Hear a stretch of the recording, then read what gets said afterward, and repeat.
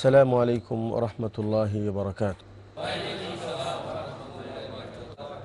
الحمد لله رب العالمين والعاقبة للمتقين والصلاة والسلام على أشرف الأنبياء والمرسلين نبينا محمد وعلى آله وأصحابه أجمعين أما بعد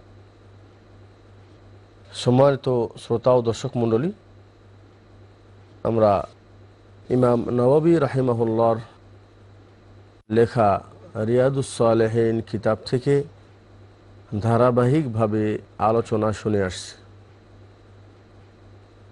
আজকে যে বিষয়ে যে অধ্যায়ে আলোচনা হবে, সেটি হলো বাবুল ওয়ারাই ওয়াতারকি সুবাহাত পরহেজগারি এবং সন্দেহযুক্ত জিনিস থেকে বিরতি থাকা সম্পর্কে।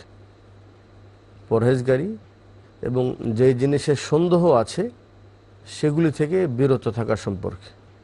এ বিষয়ে সুরে নূরের পনেরো নম্বর আয়াত এবং সুরে ফজরের চোদ্দ নম্বর আয়াত এবং এর সাথে সাথে আরও কয়েকটি হাদিস এ বিষয়ে আলোচনা শুনেছি। যে হাদিসগুলি ছিল যে রসুল্লাহ সাল্লাম বলেছেন যে হালাল ও স্পষ্ট হারামও স্পষ্ট। আর হালাল আর হারামের মাঝখানে কিছু সন্দেহযুক্ত জিনিস আছে। কোরআনে মজিদের মধ্যে যে জায়গায় আল্লাহ বলছেন হালাল, সেটা হালাল। আল্লাহ তালা ব্যবসাকে হালাল করে দিয়েছেন ও হার রমার রিবা এবং সুদকে হারাম করেছেন। হরিমাত আলাইকুমুল মাইতাতু ওয়াদ্দামু ওয়ালাহমুল খিনজির। আল্লাহ তালা মৃত্যু জিনিসকে হারাম করেছে, খিনজিরকে হারাম করেছে ওয়াদ্দাম রক্তকে হারাম করেছে। তো হালাল এবং হারাম স্পষ্টভাবে আল্লাহ তালা উল্লেখ করেছেন কোরআন এবং হাদিস। তো বলছেন বাইনাহুমা উমরুন মুস্তাবিহাত তো হালাল, হারামের মাঝেও কিছু এমন জিনিস আছে যেগুলি সন্দেহযুক্ত। এখন হালাল কি হারাম নাকি? তো সন্দেহ থেকে বেঁচে থাকলে ইমানকে পরিপূর্ণভাবে বাঁচানো যায়। আর সন্দেহর মধ্যে পড়ে গেলে হারাম পড়ার সম্ভাবনা বেশি হয়ে যায়। এবং আল্লাহ নবী উদাহরণ দিয়ে দিয়েছেন যে, এই সন্দেহ থেকে বাঁচার উপায় যেমন নাকি কোনো রাখাল, তার পশুকে সে চড়াতে যেয়ে কোনো এক ক্ষেতের খুব নিকটতম জায়গায় সেজে চড়ায়। তো বলছে, নিকটে যদি কোনো পশুকে চড়ানো হয়, তাহলে সম্ভাবনা খুবই বেশি যে ওই পশুটি যে ওই ফসলটাকে খেয়ে ফেলে দিবে। তো বলছে যে প্রত্যেক বাদশার জন্য, প্রত্যেক ব্যক্তির জন্য নির্দিষ্ট কিছু এমন জায়গা থাকে যেটা তার জন্য খাস, বিশেষ জায়গা, যেখানে অন্য কারও যাওয়ার অনুমতি নেই। বলছেন, শরীয়তের মধ্যে যে বিশেষ যেটা কাছেও যাবে না, সেটা হলো হারাম কৃত জিনিস। আল্লাহ যেটা হারাম করেছে। আনাস আল্লাহ তারা তিনি বলেন যে, আল্লাহ নবী সাল্লাম পথে হেঁটে যাচ্ছিলেন, তো একটা খেজুর পড়া আসে পথে। তো খাদ্যদ্রব্য জিনিস কোনো জিনিস পরে যদি থাকে, সেটা তুলে খাওয়া যেতে পারে। কারণ সেটা হয়তো মানুষ বা পশুর পা লেগে সেটা নষ্ট হয়ে যাবে। তো আল্লাহ নবী সাল্লাম বললেন যদি চ অন্য কোনো জিনিস যদি রাস্তায় পাওয়া যায়, কারও টাকা পাওয়া গেল, কারও ঘড়ি পাওয়া গেল, কারও মূল্যবান কোনো জিনিস পাওয়া গেল, তার বিধান হলো এই যে ওই জিনিসটা উঠালে সেটাকে এক বৎসর যাবৎ এলান করতে হবে যে আমার কাছে এরকম একটা জিনিস পাওয়া গেছে, যদি কারও হয় তাহলে উপযুক্ত প্রমাণ দিয়ে আমার কাছ থেকে নিয়ে যাবেন। তো এক বছরের আগে সেটা ব্যবহার করা যাবে না। এক বছর পর্যন্ত সেটাকে এলান করার পর ইচ্ছা হলে সেটা নিজে ব্যবহার করতে পারেন অথবা সেটা সৎকাও করতে পারেন। তো আল্লাহ নবী সাল্লাম বললেন যে খেজুরটা পড়ে আছে তো আমার সন্দেহ হচ্ছে কি জানি, এটা জাকাতের খেজুর না তো? সদকার খেজুর না তো? তো সদকা খাওয়া আল্লাহ নবী সাল্লাম ওনার উপর হারাম করে নিয়েছেন। আল্লাহ হারাম করে দিয়েছেন। উনিও খাবে না, ওনার পরিবারে যারা, তারাও খাবে না। তো উনি বললেন যে, পরিত্যক্ত খেজুর আমার এখন সন্দেহ হচ্ছে, এটা সাদকার খেজুর নাকি এমনি খেজুর? যদি আমি জানতাম যে এটা সাদকার খেজুর নয়, তাহলে আমি তুলে খাতাম। তাহলে একটু সন্দেহ আছে। সন্ধ্যের কারণে উনি ওটা নিলেন না। ওটা ওইভাবে রেখে গেলেন। এবং এ বিষয়ে আমরা আরও আরেকটি হাদিস শুনেছিলাম, সেটা হলেই আল্লাহ নবী সালাম জিজ্ঞাসা করা হয়েছিল যে, নেকি কি? তো উনি বলেছিলেন যে, নেকি ওটা যেটা করার পর তোমার মনে শান্তি লাগবে, প্রশান্তি লাভ হবে, এটা হলো নেকি। আর গুণা কি? গুণা হলো যে কাজটি করার পর তোমার মনে সন্দেহ জাগবে। যে যেটা করলাম এটা ভালো কি মন্দ, হালাল কি হারাম, জায়েজ না জায়েজ, মনে খটকা বাঁধবে। মন থেকে আপনার মানে এটা কি খারাপ মনে হবে, যে এটা ভালো জিনিস নয়। বলছে, তোমার মনকে জিজ্ঞাসা করো যে তুমি যে কাজটা করেছ, এটা ভালো করলা কি মন্দ করলা? এরপরে যে হাদিসটা পড়েছিলাম, সেটা হলেই যে ওকবা বিন হারেস রাজিয়াল্লাহ তালাহ তিনি আবু ইহাব বিন আজিজের মেয়েকে বিবাহ করেন। তো এরপরে যখন বিবাহ বিবাহ হওয়ার পর একজন মহিলা এসে বলে যে, আমি তো ওকবাকেও এবং তার স্ত্রীকে উভয়কে দুধ পান করেছি তো দুধ পান করানোর বিধান কি? আল্লাহ নবী সাল্লাম বলেছেন, রক্তের সম্পর্কের কারণে যা কিছু হারাম হয়ে যায়, দুধ পান করানোর কারণে ওই সব কিছু হারাম হয়ে যায়।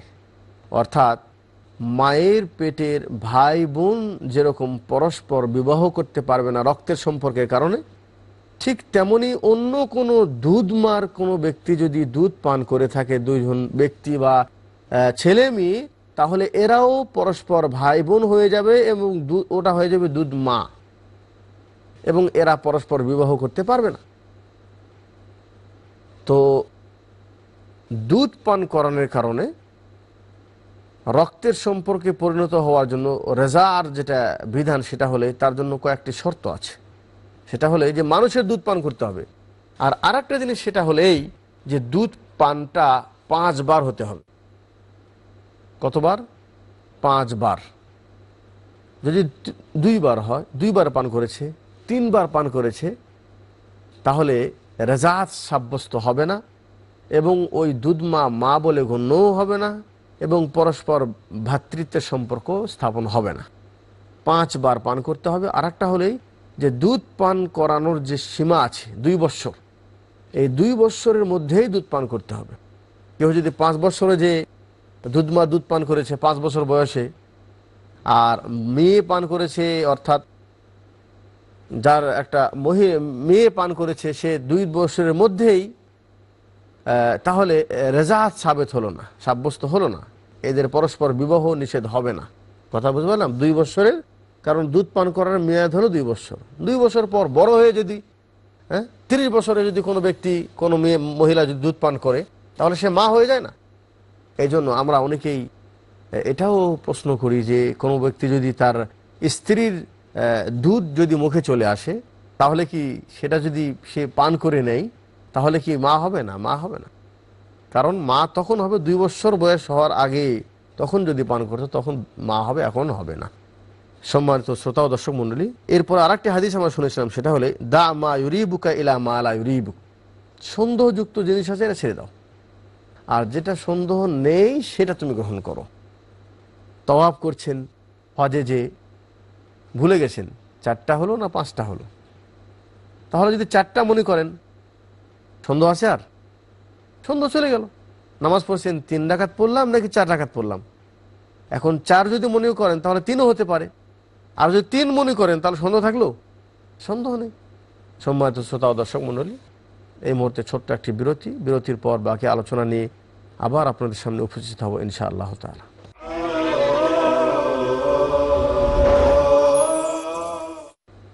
আলহামদুলিল্লাহ ওসালাত ওসালাম আলা রসুলিল্লাহ। সম্মানিত শ্রোতা ও দর্শক মণ্ডলী, আমরা সন্দেহযুক্ত জিনিস পরিত্যাগ করার ক্ষেত্রে রিয়াজুস সালেহাইনের যে অধ্যায় আছে, এ নিয়ে আমরা আলোচনা শুনে আসছিলাম বিরতির পূর্বে। তো আল্লাহ নবী বলছেন যে, দা মা ইউরিবুকা ইলা মা লা ইউরিবুক। যে জিনিসের সন্দেহ আছে, এটা বাদ দিয়ে সন্দেহ যাতে নেই সেটা করো। আজকাল বহু ব্যবসায়িক প্রতিষ্ঠান আমাদের দেশে চলে আসছে। ডেস্টিনা এবং এ ধরনের আরও অনেক কিছু ব্যবসায়িক প্রতিষ্ঠান। তারা বলে যে তাদের সদস্য হয়ে যান। আর এরপরে আপনি তাদের সদস্য বানান। যত সদস্য হতে থাকবে, আপনি পার্সেন্টেজ পাতিয়ে থাকবেন। লস নেই। শুধু লাভই লাভ। তো ব্যবসা আর সুদের মধ্যে পার্থক্য হলো যে ব্যবসার মধ্যে ঝুঁকি আছে। লাভও হতে পারে লোকসানও হতে পারে। আর সুদের ভিতরে কোনো লোকসান নেই, শুধু লাভ আছে। এটাও ঠিক সেরকমই। তো যদি চো, এটা বলব না যে এটা এই ব্যবসা যেহেতু সেই যুগে ছিল না, এজন্য এটার হারাম না বলতে পারলেও কমাস কম সন্দেহ থেকে মুক্ত নয়। এগুলি সন্দেহযুক্ত। ব্যাংকিং সিস্টেম যেগুলি আছে তাকাফুল জীবন বিমা, এগুলি যেটা আমরা করতেছি, কিছু টাকা ব্যাংকে রাখলেন, এরপরে সে টাকা জমা হতে হতে বড় অঙ্কে আপনাকে পরবর্তীতে এক সময় দেওয়া হবে। এগুলি সব সুদের অন্তর্ভুক্ত। আমরা আগে হাদিস শুনব যে যখন মানুষের ফেতনা হবে, যে যেদিকে যায় সেদিকেই ফেতনা, ইমানের ফেতনা, আকিদার ফেতনা, তো এই সবগুলো সবগুলি ফেতনা থেকে ইমানকে বাঁচানোর জন্য যদিও পাহাড়ের কোনো কিনারায় যে ছাগল চড়ে যদি খেতে হয়, তারপরেও ইমান বাঁচিয়ে ওই ছাগল চড়ে খাওয়া ভালো, কিন্তু সন্দেহযুক্ত হারাম মাল খেয়ে আরাম আয়েসের জীবনের চাইতে সেটাই ভালো। তো আজকে যেই হাদিস থেকে আমরা আলোচনা শুরু করব সেটা হলেই, ওয়ান আয়েশা রাদি আল্লাহ আনহা কালাত আয়সা রাজি আল্লাহ আনহা হতে বর্ণিত তিনি বলেন, কান আলী আবি বকরিন সিদ্দিক রাজি আল্লাহ তালা গোলামুন ইউখ রিজু লাহুল খারাজ আয়সা রাজি আল্লাহ আনহা বলেন, আবু বকর সিদ্দিক রাজি আল্লাহ তালাহুর একটি গোলাম ছিল যে গোলাম ওনাকে ট্যাক্স দিত। তো আগের যুগের গোলাম তো কিনে নেওয়া হতো।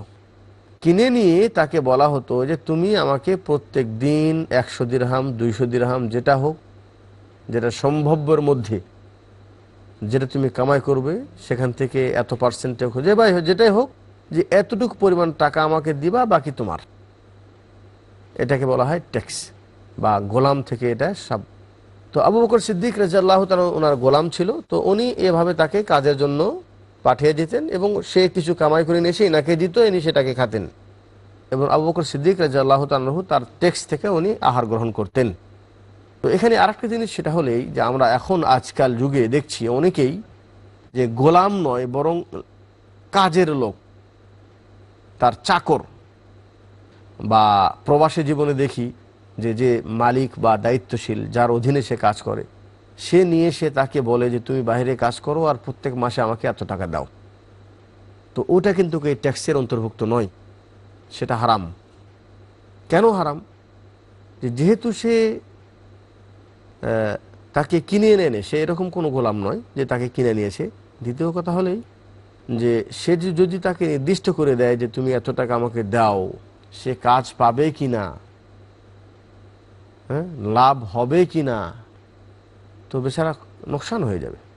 আর এভাবে নেওয়ার কোনো বিধান শরীয়তেও পাওয়া যায় না। বিধায় এই ট্যাক্স আর ওটা দুটো এক নয়, ওটা আলাদা, এটা আলাদা। ফাজা আয়াউমান বিশাইন বলছে, ওই যে গোলাম ছিল, ওই দাসটি কিছু অর্থ নিয়ে এসে আবু বকরকে দিল। ফাকালা মিনহু আবু বাকেরিন আবু বকর সেটাকে খেয়ে ফেল দিলেন। এখন অর্থ নিয়ে আসুক, সে অর্থ দিয়ে জিনিস কিনে খেয়েছে, অথবা কোনো জিনিস নিয়ে আসুক, যেটা নিয়ে আসছে ওটা উনি ব্যবহার করেছেন। ফকাল্লাহুল গোলাম, তো ওই দাসটি হঠাৎ করে মনে হলো, ওহো, আমি যে ওনাকে যে মালটা দিলাম, তো আমি কোত্থেকে নিয়ে এসে দিলাম তা তো বলি নাই। তো সে গোলামটি বলল তাদের ইমাহাদা হে আবু বকর, আপনি জানেন কি যে অর্থটা আপনাকে আজকে দিয়েছি, এটা কিসের অর্থ ছিল? তো আকালা বকর ওমা হুয়া? কি ছিল সেটা?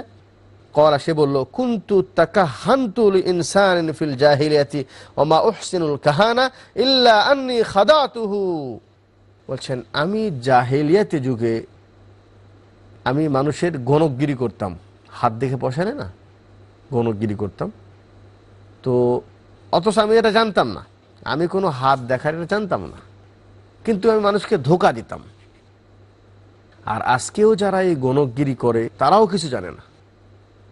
তারাও ধোকাই দেয়। আর ধোকা দিয়ে মানুষের কাছে পয়সা নেই, কারণ কার ভবিষ্যতে কি হবে, এটা একমাত্র আল্লাহ ছাড়া কেউ জানে না। এমনকি আল্লাহ নবী সালাম বলেছেন, মান আতা আর রাফান আও কাহিনান। যে ব্যক্তি কোনো গণক অথবা যারা এই ভবিষ্যৎবাণী বলে, এদের কাছে কেউ যদি এসে তার হাত দেখায় ওয়াই সদ্দেক এবং সে যা বলেছে, সেটাকে যদি সে বিশ্বাস করে, তো আল্লাহ নবী বলছেন, ওই ব্যক্তির চল্লিশ দিন পর্যন্ত এবাদত কবুল হওয়া বন্ধ হয়ে যাবে। তাহলে আমাদের দেশে তোতা পাখি নিয়ে চিঠির ভিতরে ভবিষ্যৎবাণী লেখে, আর আমরাই কত বোকা মানুষ যে সেখানে যেয়ে তাকে বলি, বলেন তো দেখি আমার বিবাহ কবে হবে।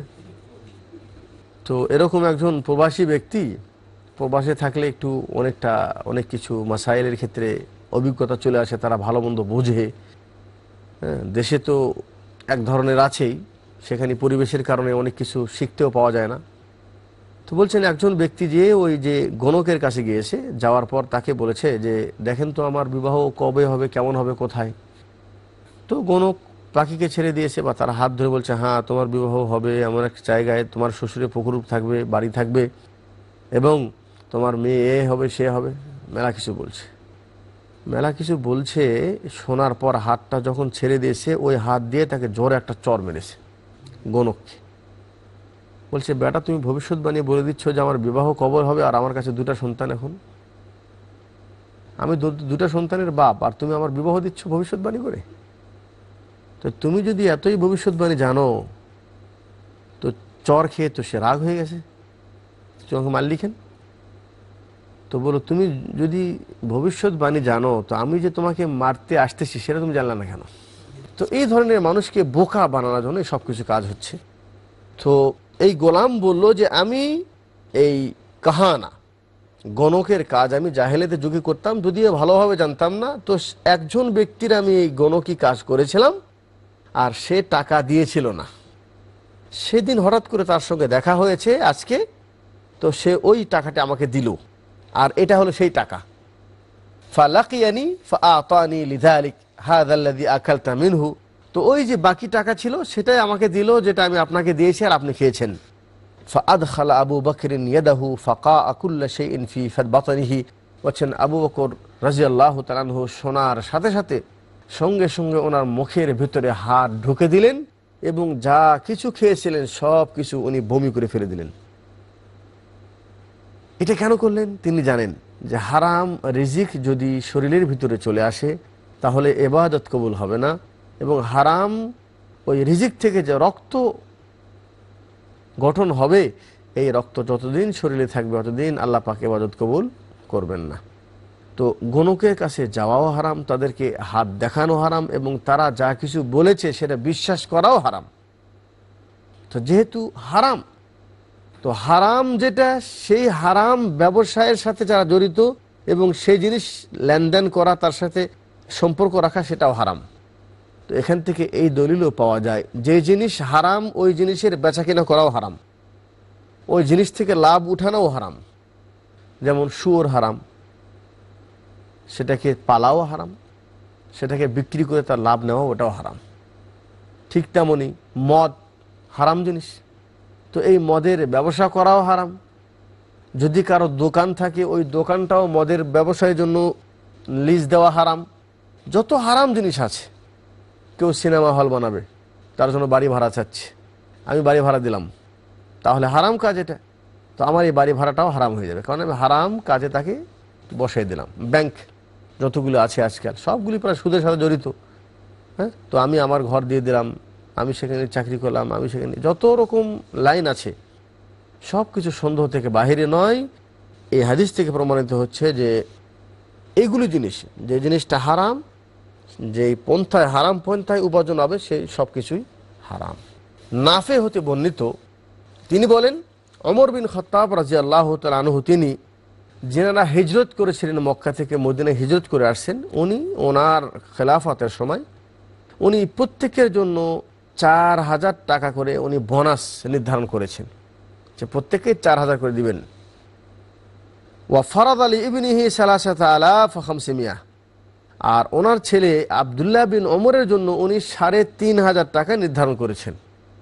সাড়ে তিন হাজার আর তাদের জন্য চার হাজার ফাকির লাহু তো ওনাকে বলা হলো, হুয়া মিনাল মুহাজিরিন, ফালিমান আকাস্তাহু আবদুল্লাহ বিন ওমর, অর্থাৎ আপনার ছেলে, সেও তো মহাজির। তো সেও চার হাজার টাকা পাওয়ার প্রাপ্য। তাহলে তাকে আপনি সাড়ে তিন হাজার দিচ্ছেন কেন? ফকাল ইন্নামা হাজারা বিহি আবুহু। বলছেন, সে যেহেতু সে তার আব্বার সঙ্গে হিজরত করেছে, সে একা নয়। ইয়াকুল্লাইসাহুয়া কামান হাজরা বিনাফসিহি। সে ওদের মতো নয় যে নিজে হিজরত করেছে, যেহেতু সে তার আব্বার সঙ্গে হিজরত করেছে। রাওয়াহুল বুখারি, ইমাম বখারি রহমতুল্লাহ হাদিস নিয়ে আসছেন। তো এই হাদিস থেকে যে জিনিসটা আমরা বুঝতে পারি সেটা হলেই যে অমর বিন খতাব রাজি আল্লাহ তালানহু তিনি এত বেশি সতর্কের সাথে চলতেন, এত বেশি পরহেজগারির সাথে চলতেন যে সন্দেহ তো দূরের কথা, কারও ভিতরে যেন সন্দেহ না জাগে এই কাজ থেকে দূরে থাকতেন। এই জন্য উনি যেই গাছের নিচে বায়াত হয়েছিল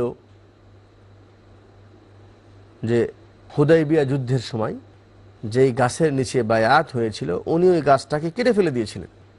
এই আশা করে বা এই আশঙ্কা করে যে হয়তো বা পরবর্তী মানুষেরা এই গাছকে তারা একটা এবাজতের জায়গা বানিয়ে নিতে পারে, একে সম্মান করতে যে, শ্রদ্ধা করতে যে, এটা নিয়ে বাড়াবাড়ি করতে পারে।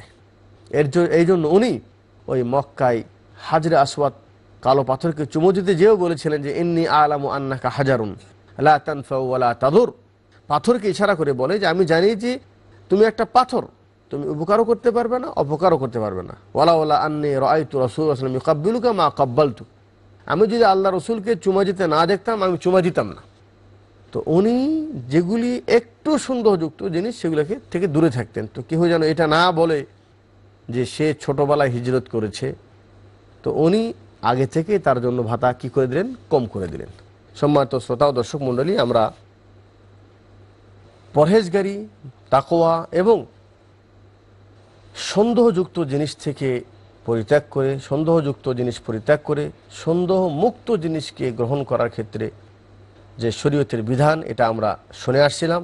তাই আমরা আমাদের জীবনে হালালকে বেছে চলব, হারাম থেকে নিজেকে পরিত্যাগ করব এবং হালাল এবং হারাম যে বিষয় স্পর্শ নয় এবং সন্দেহ আছে, এই সন্দেহ জিনিস থেকেও নিজেকে দূরে রেখে পরিপূর্ণ মমেন হওয়ার আমরা চেষ্টা করি। আল্লাহ রব্বুল আলমিন আমাদেরকে সে তৌফিক দান করুন। এই বলেই আজকের মতো আলোচনা এখানেই শেষ করছি। ওয়াখির দাওয়ানা আলহামদুলিল্লাহ রবিল আলমিন। আসসালামু আলাইকুম রহমতুল্লাহি ওবরাকাতু